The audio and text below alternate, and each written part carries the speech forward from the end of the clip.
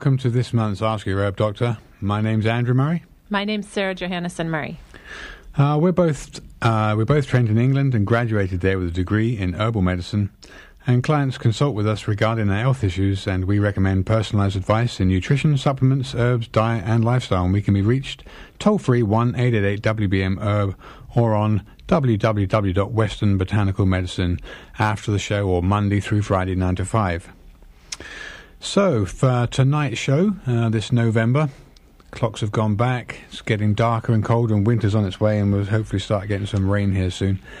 Uh, for this month's show, I wanted to. Uh, uh, Dr. Raymond Peat's going to join us uh, as usual here. We're fortunate to have him on the show, and I know maybe that people who've um, listened to the show fairly frequently have heard Dr. Peat speak on a very wide range of topics. Well, tonight's topic's no exception, believe it or not. He's uh, uh, he'll bring out. I won't even talk for him. He'll he'll speak for himself as usual.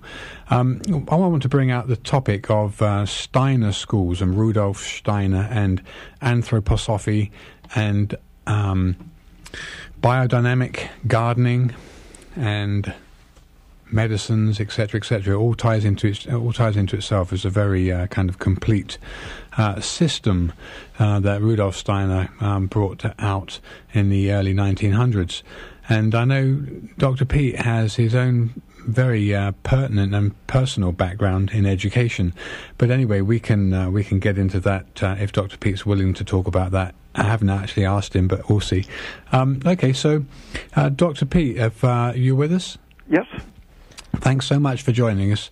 Uh, and for those people who perhaps have only just tuned into the show for the first time and uh, haven't actually heard you before, would you just give a, an outground of your academic and professional background before I ask you the first question here that I don't think I have asked you, but you can always say no if you, if you want to. Oh, okay. Um, uh, I um, studied uh, humanities as an undergraduate and uh, uh, eventually went to graduate school in biology although linguistics and painting had been most of my previous study. And uh, since uh, graduating uh, with a PhD in biology, I've uh, done a lot of uh, counseling in nutrition and uh, general health issues. Okay, well, I think what I wanted to what I wanted to get at, and um, it's it's not something that I've actually kind of written up beforehand or um, discuss with you, and you can always just say no. But I'm, I'll let I'll let you I'll let you decide on that. Uh, in terms of your um, your work, uh, your life's work, and uh, um, education and academics. Um, would you want to mention anything about um, a college that you were part of at one time, or? Um, uh, yeah, it, okay. it was uh, so it, very, very directly related to everything I did before and after. Uh, I had um, been a, a critic, critical consumer of education right from the first grade. Uh, I I knew how to read when I went to school, and so I, I didn't take it very seriously when they uh, went through their their routines. Uh, my uh, third, fourth, and fifth grade experience uh, was uh, exceptional a one room country school where there were eight grades in one room. Uh, so that made it more interesting and it was completely unregimented. Mm-hmm. Uh, and I think that gave me the idea that uh, maybe kids would do better in a, a freer learning environment. Uh, and uh, my college experience, I, I found that there were only two or three professors that knew anything that I wanted to learn.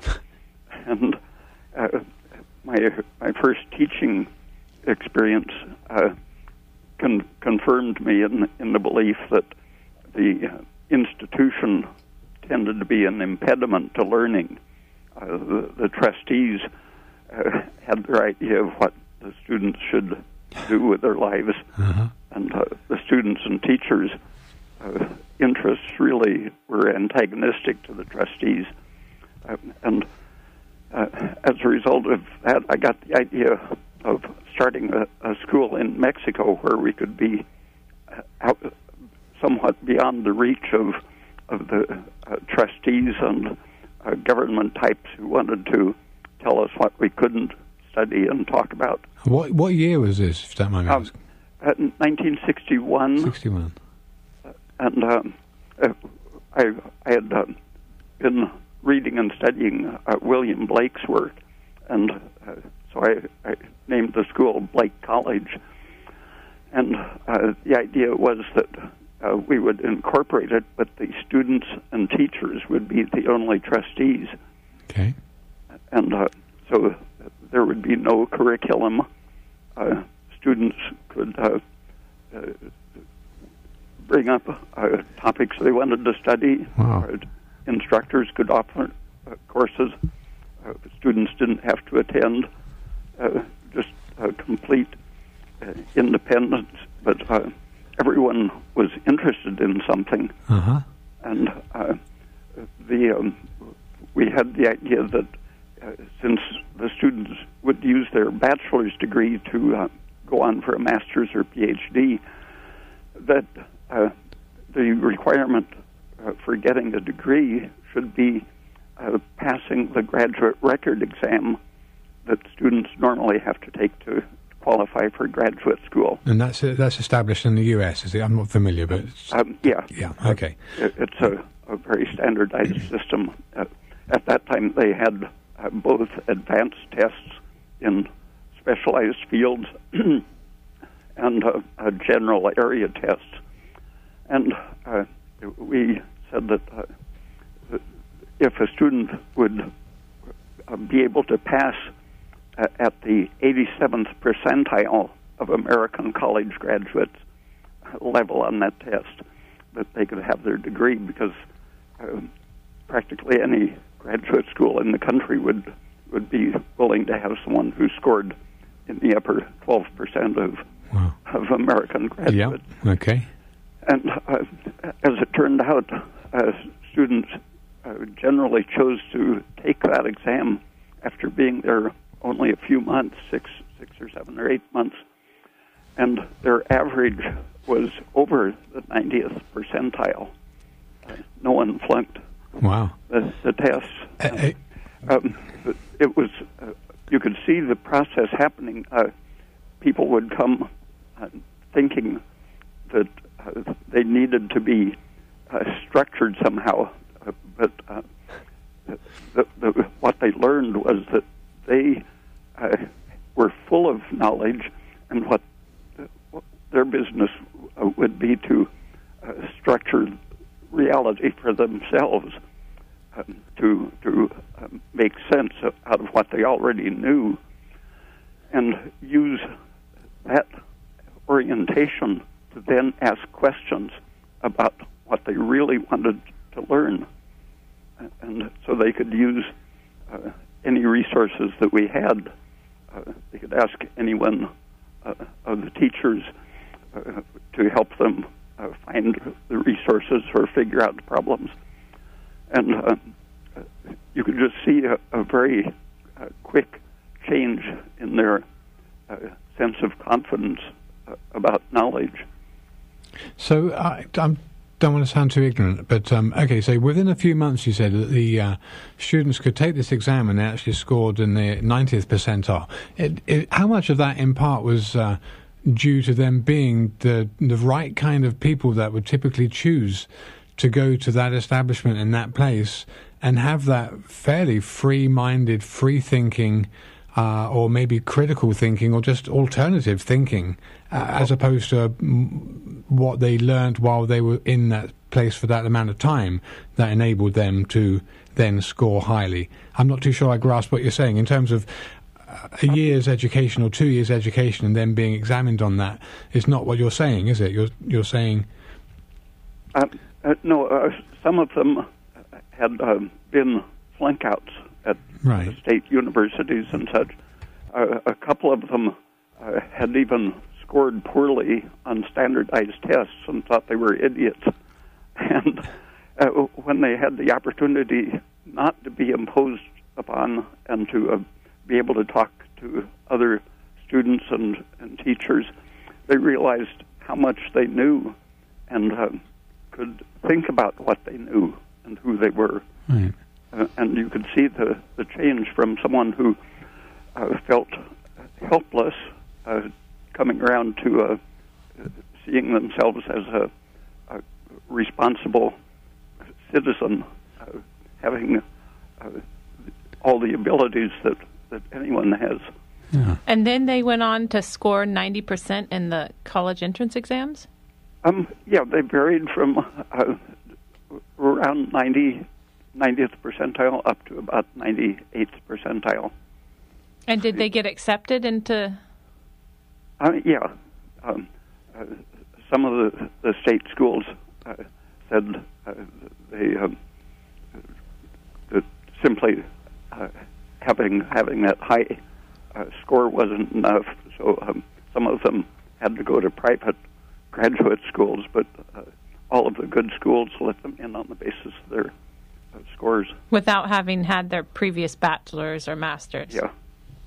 That's incredible. Yeah, excellent. Because I, I, didn't, uh, I never did plan to ask you that question, but it ties in, ties in very well to the. Uh, uh, the thought that I had uh, drawing this up for tonight's show that the Steiner School environment would be a good discussion for topic, and I know that um, you've been involved in education for a long time, and you obviously have a very very uh, different approach to problem solving that's radical and it's very uh, cutting edge in terms of the way science uh, understands the concepts that you describe so eloquently in your own way that m- current research is proving um, and that the uh, this topic of education, especially Steiner school education, for all the benefits that we'll bring out in the discussion this evening, um, how that ties in with herbal medicine, uh, ties in with biodynamic gardening, sustainability, conscious uh, behavior uh, as sentient human beings, regardless of gender, race, or political uh, background, whatever. None of those things ma- you know, matter.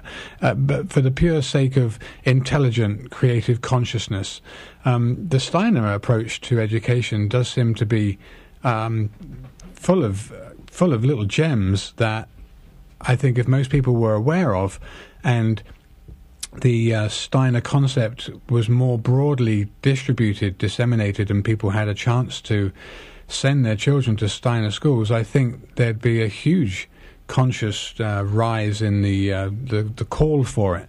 Uh, in in terms of the educational uh, background of Steiner and, and the developments. We'll get into that in a bit too, but um, has some very different approaches to educating children in terms of their readiness for education. And I know that's also something that we can uh, discuss as the time goes on.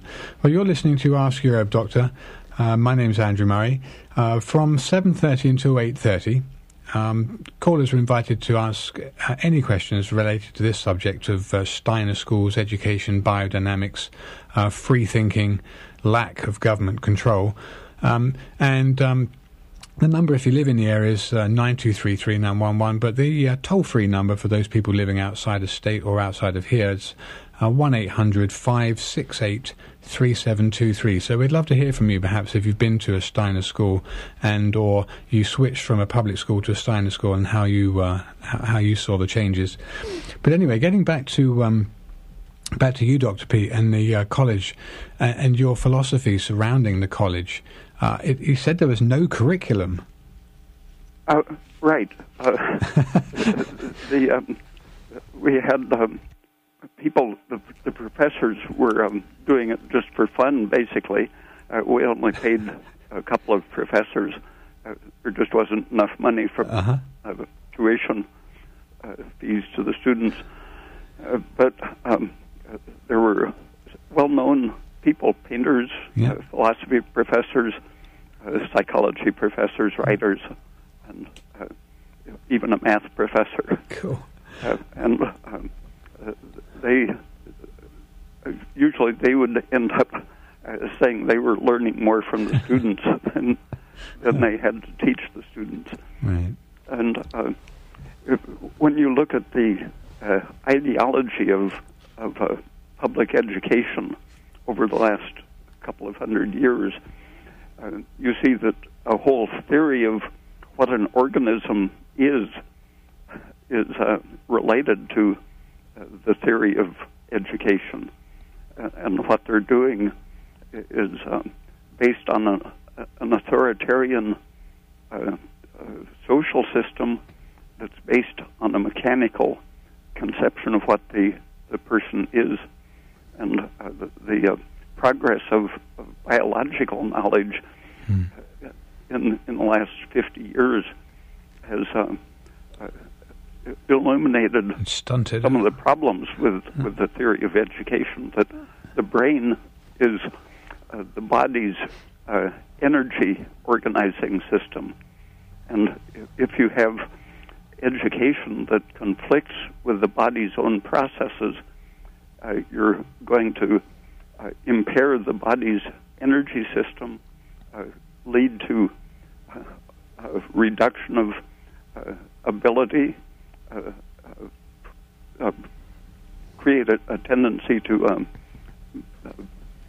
lack adaptability in, in biological as well as mental processes. Are you speaking about like children being forced to sit for eight hours a day? Uh, Energetic yeah, children? Uh, there have been, been, studies, for example, in New York City, uh, kids were given an IQ test every year that they were in grade school. And they saw these slum kids coming in with an average IQ. Each year, their scores would get lower as they spent uh, the year sitting in school being oppressed. And uh, with with our students at Blake, uh, just the opposite happened very quickly. They would come out of their oppression and uh, realize that, that they were creative minds, not not just passive learners. And that same process uh, was discovered 50 years ago uh, in rat studies. the rat that was given an entertaining, free environment, became more intelligent, grew a bigger brain with a thicker cortex, and their offspring would have a, a bigger brain and, and, be more intelligent. Hmm. So it could be inherited, passed on to the. Uh, yeah. Yeah. And, and so the uh, uh, the students who are being impaired by bad uh, public schools are actually probably passing it on to generations of uh, oppressed. I found it interesting in uh, reading about Steiner and his philosophies that, um, and he must have borrowed this uh, from uh, Galen or from, uh, yeah, probably probably from Galen. But the uh, the the four humor uh, classification, the H U M O R classification of um, personalities that he used in his uh, temperamental assessment of children that would um, enable them to be um, children of these characters would be segregated, if you like, uh, within a classroom environment or given completely different curricula to follow that best suited their temperament. And um, he mentioned the uh, melancholic, the sanguine, the phlegmatic, and the choleric uh, temperament. And these um, these classic temperaments here, they were actually uh, described by Galen in 400 BC, and um, have formed part of the tenant for uh, alchemical uh, medicine uh, for healing via information on the humours, and without getting too out there and um, being unquote unscientific about it. There's a lot of scientific rationale to support it. So he um, he used the uh, children uh, and their temperaments uh, to guide their education. What do you think about that? Um, uh, yeah, uh, the um, we called it student education, hmm. following on Carl Rogers' client centered therapy. he used a non directive approach of empathy with, with the client. And uh, uh, in in our uh, the non curriculum, uh, the sense of empathy was really the guiding principle. Uh, the um, teachers and, and students uh, tried to understand each other and uh, they together created questions that none of them had thought about before. Uh, so uh, the the empathy tried tried to listen to the the character or personality of, of the other person, which would, if you uh, had them categorized according to uh, humors and such, that would be a, way of organizing that process. But uh, with with our small group, it was purely individual, adaptive, empathetic okay. approach. Yeah.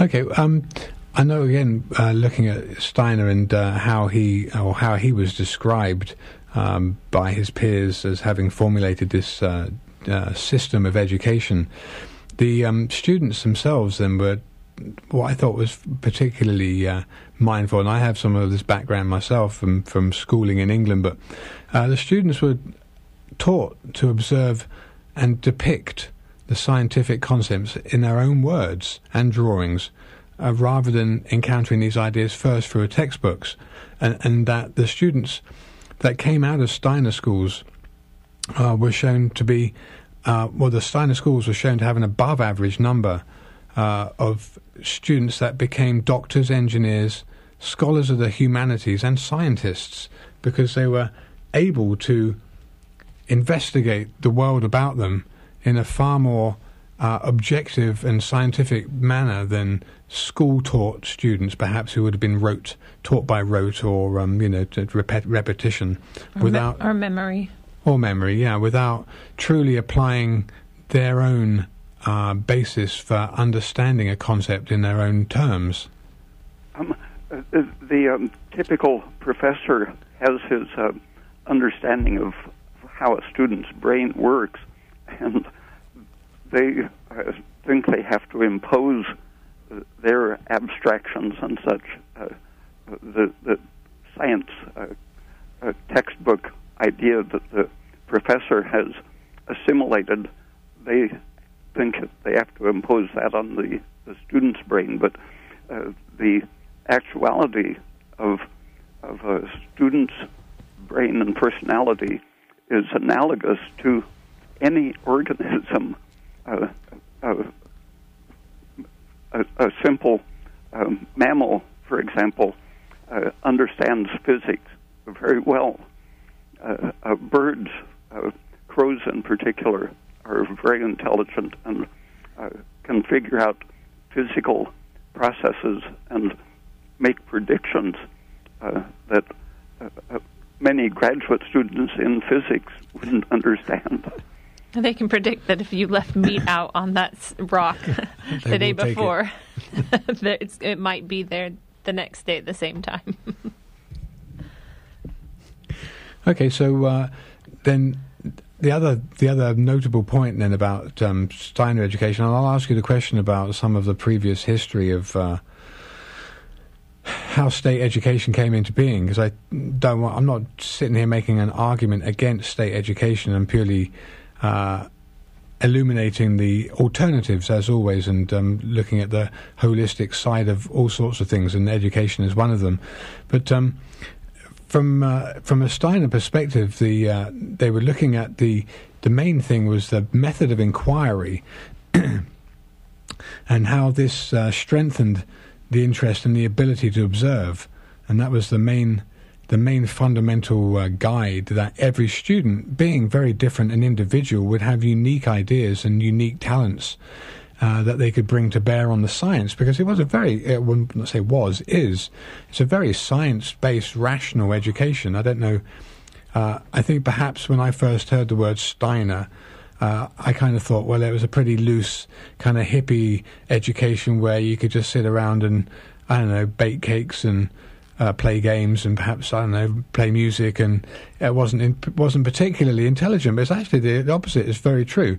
That given the uh, individual's creative ability in an environment where they're not stressed, they're not forced to perform, and they're not forced to, uh, you know, compete, which I think does lead to a lot of suppression of uh, expression in certainly in individuals that are not naturally competitive, because we're not all naturally competitive, but um, everyone's so very different that these people, given the uh, um, the the sense to inquire and find the natural world wonderful, which I think is an excellent excellent example of how to teach people to to show that the natural world is an excellent tutor in its own right.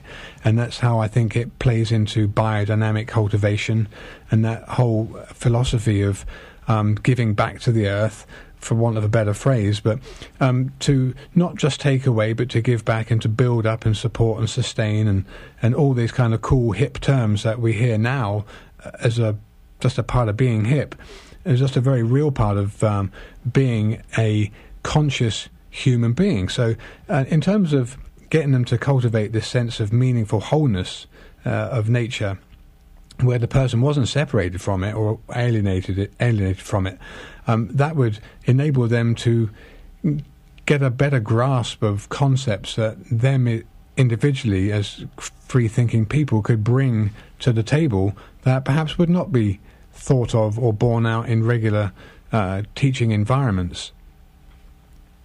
So, what do you think about the whole thing about uh, um, from the ages of um, three to seven? There's no there is no pressure whatsoever to learn ABCs and to learn uh, you know facts and figures and rudimentary education, but that the child is to be immersed in that environment of nature where they're to look at nature with awe and to you know get into gardening and you know learn about animals and create that whole side of their um, you know their their their their being before they do anything structured with math and science. I think as well they don't read till they're ten. Right. On average, yeah. I think that's when they start to teach them to read. Um, in in my experience, I, I saw people uh, reading and, and talking about things they saw in the newspapers, and so I I just spontaneously wanted to uh, see what they were doing, and uh, had nothing to do with uh, a, a curriculum or, or being taught. I just wanted to find out what was so interesting. And uh, at the uh, Summerhill School, uh, started by A.S. Neill in England. Okay. In, um, I think, around uh, the late 1920s, it, it started, and uh, it was finally recognized in the 1960s uh, by by uh, universities and such uh, as really having achieved something in education. Uh, his he had no curriculum at all. Students could stay there for 12 years if they wanted and uh, not study, but uh, the ones who who did stay there and graduate uh, were uh, superior in their achievement to uh, those who had gone through uh, taking classes every day for 12 years, uh, they, they, demonstrated that uh, the um, curriculum is completely unnecessary. Mm-hmm. If the student is uh, aware that there is something to learn, they can learn it just in a flash compared to what the schools expect of them. Yeah. I know. Didn't you tell me, Dr. Pate, one time that you learned to read, like you were saying, watching people read the newspaper, and so you learned to read because you wanted to read the comics. The uh, yeah, yeah. The the, um, the funnies were, were the first thing. Uh, Alley Oop and Smokey Stover and such were my favorites. But but then uh, my parents had a shoebox full of the little blue books, uh, classics that were printed in a very small size, and uh, uh, then the newspapers. Uh, I wanted to hear what was going on with the war. So I uh, learned uh, the, the various types of things that were available. And what year was that? Or how old were you? Uh, four. Wow. cool. Well, you're listening to Ask Your Herb Doctor on KMUD Garberville 91.1 FM. And from now until the end of the show, you're invited to call in with any questions, either related or unrelated to this month's subject of uh, free thinking, uh, alternative education, Steiner schools, biodynamics, etc. Uh, number if you live in the area is 923 3911. Or if you live outside the area, there's an 800 number, which is 1 800 568 3723. Um, we have Dr. Raymond Peat with us, and uh, I'm very welcome to have him on the show again. Um, Dr. Peat, again, I was um, wondering, and I guess don't want to get it too don't want to get into it too far because it kind of sounds more like politics than anything else. But in terms of um, education, I know that in this country, uh, I think around the beginning of the 70s, homeschooling started uh, to become prominent or possible. And I think in the early days there was quite a movement against it. I think both probably federally uh, and on a state level. Um, but what do you what do you think about the uh, concepts of homeschooling in terms of the um, overriding? And again, I don't want to get too political about this, and I'm not asking you to be political about it either. But uh, in terms of state schools, um, the state being the uh, the government that the people put in power, really to do the people's bidding, not to be told what to do by. But the state schools that educate our children obviously have their own agendas. Uh, and I think you can see this a lot in some of the subjects that are borne out. Uh, taught in schools. Uh, this comparative uh, analysis with um, homeschooled children and how how the actual uh, how the rise of state education came into being to become the kind of totalitarian, um, yeah, the totalitarian source of education uh, in, in, this in many other countries. Uh, I read that there was at one point in time the uh, concept of um, education by the government for the children of the people the government was uh, helping or whatever you want to call it, supporting, um, was because at one point in time there weren't both of the uh, both of the uh, parents of children didn't work. It's typically in the olden days the the woman would stay at home and be the homemaker, take care of the home, take care of the children, uh, would then ultimately school them and or get together in groups uh, while the the male person was the person who did the physical hard work, worked on the farm, etc., whatever, and, and, did all those kind of things to uh, bring food in and um, you know just keep the house keep the household going. But that taxation came into play in the early early 40s, um, f- federal taxation, which made it actually very financially uh, unsound um, to have just one person working, and actually caused the uh, um, cause a need for two people to be working in order to make ends meet, and that actually the children uh, were then left as the question, well, we'll educate the children for you, so you just come to work and pay more taxes. Uh, but without getting too political about it, I know there is um, a true case in point for having um, that that freedom of choice, and that actually it's just not even thought about these days. Do you have any anything to say about that in terms of uh, being an educator or um, looking at it from a perspective of where it was and where it's where it's come to now, in terms of not really having. Uh, well, I guess we do have a free choice. So if homeschools do exist here in America, um, and uh, I, I, think the state can set the uh, curriculum to a great extent, even in homeschooling. Okay. And the um, uh, federal government approves the agencies that accredit high schools and colleges and universities and so the um, uh, there are private accrediting agencies which really are, are responsible to no one. Uh, they are kind of an abstract uh, authority that, uh, that the uh, citizens can't affect uh, directly. The government approves them because they meet the government ideological standards, apparently. And um, uh, the um, state bureaucracies are set up so that no school can uh, grant degrees or credits uh, or transcripts if they uh, don't conform to those accrediting agencies. Hmm. Uh, so the uh, really the, the power to grant a transcript or a degree is uh, pretty much a, a, matter of mind control unless people realize that uh, there is reality and then there's the uh, official curriculum. and, uh, in uh, my my experience in grade school and high school uh, was uh, just not to pay too much attention to them. Uh, in in high school, uh, some of our teachers were openly fascists and and Hitler worshippers, wow. uh, racists and such. Yeah, and uh, so it, it was uh, just a matter of, of uh, getting through it with without uh, having to uh, interact too much with them. Mm-hmm. I mean, I hear this. I hear this from you a lot when you're uh, either talking to me or on the radio show.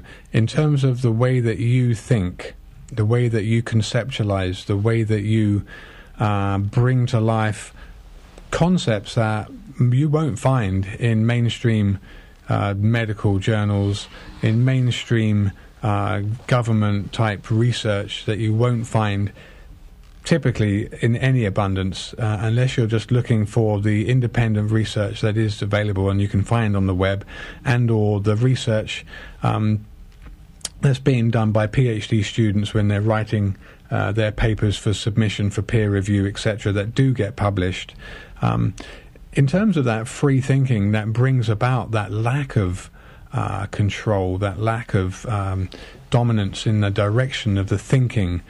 I know that you've had a lot, um, a lot of uh, personal experiences with that. You mentioned that when you were um, studying, that most of your professors didn't even really understand what it was you were trying to uh, get across to them. That you had uh, read, and when you'd studied the papers that were in the libraries that has since uh, were withdrawn, that um, you had a very different uh, way of looking at it that they were completely dumbfounded by because it was not typical rote, uh, just repeat repetitive kind of. Uh, yeah, f- not facts, but repetitive statements that were poor yeah, science. The, the, system, not only the explicit uh, accrediting process and agencies and curriculum, but uh, uh, the um, official high high status publications, journals, publishing houses,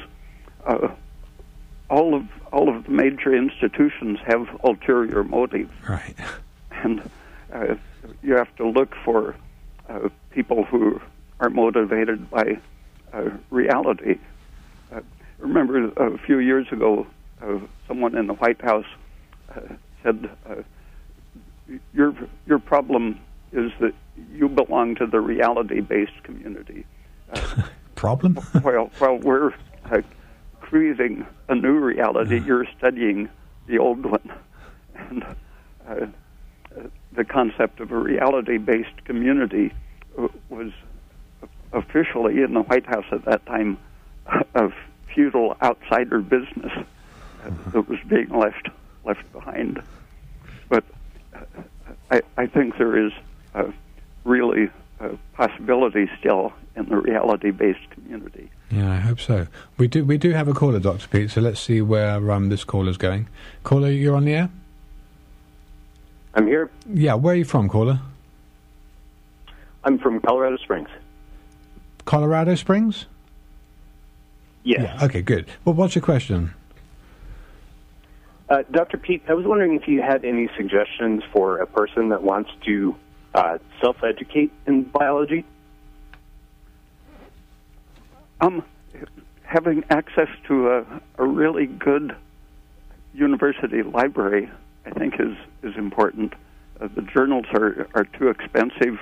Uh, even uh, buying articles over the internet. They cost thirty or forty dollars per article, and uh, so if you have a, like the University of Colorado probably has a good uh, science library where you can find journals and and current uh, uh, recent books, old books, old journals and such, and uh, uh, if, if you uh, have questions and uh, uh, things that you think you should know, uh, just start looking them up in, in the library, uh, asking anyone that uh, has possible information on the subject.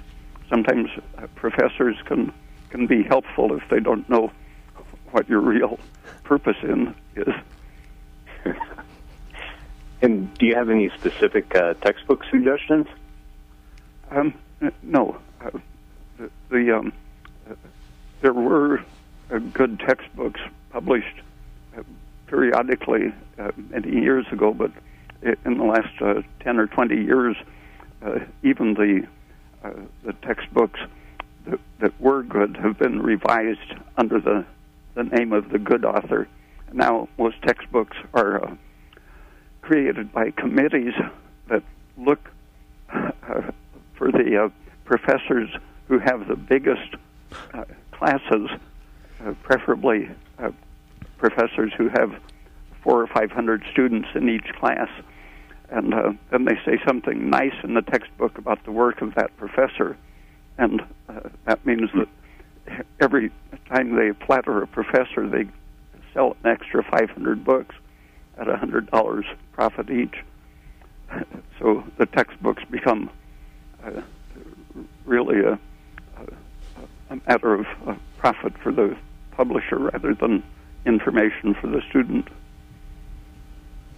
But Dr. didn't you recommend okay, well, a, a, a physiology textbook one time that was published maybe in the 50s or 60s? Yeah. Wasn't there a physiology? And you said if you could find the original one, it it's pretty accurate. Oh, uh, yeah. Um, I'm not sure which one I was referring to, but uh, there are some some good ones from the 30s, 40s, and 50s. Uh, uh, I have a, a, little handbook of physiology from I think 1965 that uh, has the basic information and uh, doesn't have uh, the stuff on uh, membrane pumps and channels and so on, which is uh, misleading a lot of uh, present present students. I, I was going to ask you, what was the name of the um, what was the name of it was Index Medicus that uh, you said at one time at the university there in Oregon that the um, basement had all of this data that suddenly uh, got taken out of the library and you uh, no, that was biological abstracts. Biological abstracts, uh, uh which had uh, references to international uh, journals, all fields related to biology. And when I would compare Index Medicus, which was the paper precursor to PubMed, okay, National Library of Medicine um, I found that any interesting discovery of recent years that I found in in the journals or in the biological abstracts, it took uh, usually about ten or twenty years before it would show up in Index Medicus, and then it would be a put down as uh, uh, the these people are now saying that uh, coenzyme Q10 has biological value and uh, would scoff. So they would scoff for a few years, and then 30 years after it was uh, published in the science literature, the medical literature would finally accept it. Okay, we're getting on to. Uh, let's just uh, make sure everyone knows what's going on here first before I ask you the next uh, next round of things. Um, the number, if you live in the area, is nine two three three nine one one, or the 800 numbers 1 800 KMUD RAD, which is 1 800 568 3723. Dr. Raymond Peat's with us on the show tonight, our special guest. Uh, we're talking about Steiner Schools, alternative education, biodynamics, and you're listening to Ask Your Herb Doctor on KMUD Garberville 91.1 FM. So, Dr. P, I think just to get onto the uh, uh, topic of uh, medicinals and anthroposophy kind of joined together, um, you did mention uh, the Iscador, and I don't know if anyone's listening knows what the Iscador is, but it, it is an anthroposophical preparation, and that is very closely allied to the alchemical preparation of uh, Viscum album, the uh, mis- European mistletoe. Um, do you want to say anything about European mistletoe and what it's been used for and how uh, how that's come about? Or um, uh, no, I've just been following the issue for more than fifty years. Uh, I, I knew people in the biodynamic Steiner approach, and they told me various interesting things about the the influence of fields created by uh, the moon cycles and so on. And uh, following up some of that stuff, I found that uh, there were uh, fairly main, mainline researchers uh, continuing ideas that Steiner had proposed, uh, doing the interaction between the moon cycles and botanical processes uh, from from the uh, 20s through the 40s. Uh, there were several people doing very good research, uh, unrelated apparently to, to Steiner, but showing uh, that organisms are biologically uh, coordinated through through the Earth and Moon fields. Mm-hmm. I mean that that's the basis for uh, lunar lunar planting, where I know entire calendars are devoted to the phases of the moon and the um, benefits uh, or the uh, adverse effects of doing certain plantings at certain times of the moon uh, are shown, and that again, that's uh, kind of resonance with the way that the moon affects water through gravitational pull and how that uh, biological effect uh, is exerted on all of us as living uh, water-filled beings, and so not just seeds, but mammals and uh, even bacteria, etc. They all all feel these uh, feel these influences, and so that's a, a, pretty a pretty real scientific approach to it. Um, so, uh, for people who want some other background besides Steiner, Harold Saxton Burr, a book Fields of Life. He was a Yale professor, I think, who um, did some of the uh, measurements showing these uh, lunar cycles. Uh, uh a professor uh, named Brown at Indiana University uh, did a whole series of, of biological cycle studies, day day and lunar cycles both. Uh, Salko Tromp or Tromp, T R O M P, was a, a Dutch uh, uh, biologist and uh, ecologist who uh, wrote a, a, book called Psychical Physics, how how the nervous system interacts with these fields.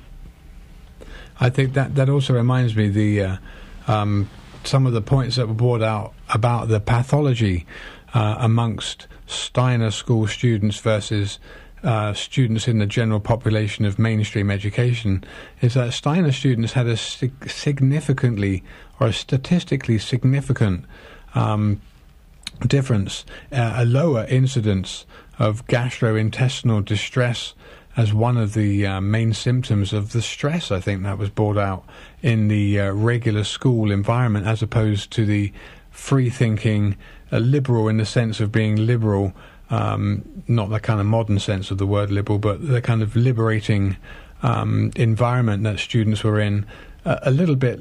A little bit like the animal experience you, you first mentioned when we, we first started talking about the rats that were given the uh, kind of environmental enrichment, uh, having uh, better and greater intelligence, and their progeny um, bearing from that, you know, benefiting from that also. But in terms of the um, the lack of stress, I think, probably, and the lack of, like I said in the beginning, the lack of competition and that kind of yeah, all, all, all that that competition nurtures, all the negative side of the competition, because competition is not necessarily a bad thing, but I think the way that most people compete with other people is usually in a fairly negative way.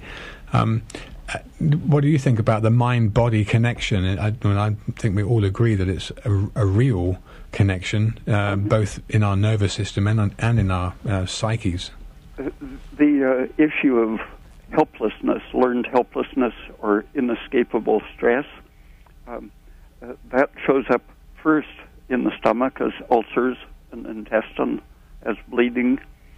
Um, but the uh, it's really happening in the brain, uh, and uh, if it continues, you can see it now with MRI studies of the brain, you can see the chronic stress uh, thins the cortex of the brain, makes the brain smaller and and emptier, uh, and uh, the um, the main parts of the brain that uh, relate the, the uh, digestive damage to um, the, the uh, nerve damage, the serotonin system mm-hmm. contains components of excitatory, like the toxic excitatory amino acids, glutamic excitation processes that uh, release nitric oxide. Nitric oxide reduces the um, energy uh, producing capacity of the brain, leads to uh, atrophy. Uh, the, the intestine releases uh, uh, both serotonin and nitric oxide. the, the system goes back and forth between the brain and, and the intestine, affecting every other organ in the process. And you can see these same processes even in fruit flies. Go on. uh, if, if a fruit fly uh, has a traumatic brain injury, for example, it develops ulcers and and a leaky intestine syndrome. they can do that. really, fruit flies are just like us. Incredible. Or, or we're just like fruit flies. Yeah. But that wow. makes me think of lemon balm because it's so calming on the nervous system, but it's also very soothing on the the intestinal tract. So uh, when okay. you were saying there's such a link there, it really made me think of lemon balm and chamomile. Mm-hmm. Um, it, yeah, keeping keeping the um, brain steroids up and the uh, inhibitory GABA uh, transmitters up.